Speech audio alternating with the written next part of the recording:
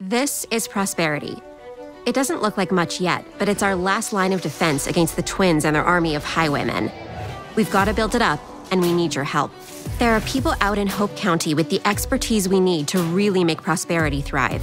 Find them, bring them back, and they'll help us grow stronger by improving our eight facilities the workbench, training camp, cartography, healing garden, infirmary, garage, explosive lab, and even a helipad. These will let you craft weapons and vehicles, train your guns for hire, and go on expeditions. These facilities can be upgraded, but there's a catch. They need fuel. Gas doesn't exist anymore, but the highwaymen are hoarding ethanol in their outposts.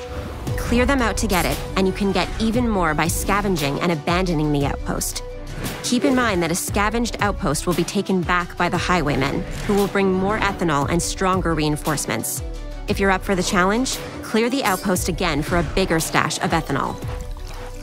The highwaymen aren't only in Hope County, they have strongholds all over the country. Our expert pilot will take you on expeditions to unique and surprising locations across the USA. You'll fly in, steal a package filled with the most valuable crafting materials, and get out.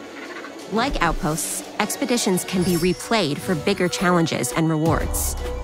So that's it. Recruit specialists to help rebuild prosperity, clear highwaymen outposts to get ethanol, and go on expeditions to get precious crafting materials.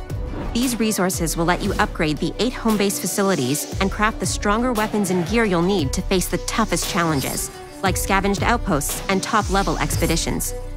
With this, you can help us build a safe haven against the highwaymen and give us a fighting chance against the twins.